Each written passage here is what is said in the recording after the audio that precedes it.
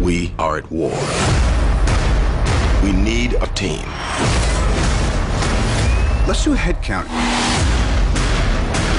The super soldier, the demigod, a couple of master assassins, and there's me.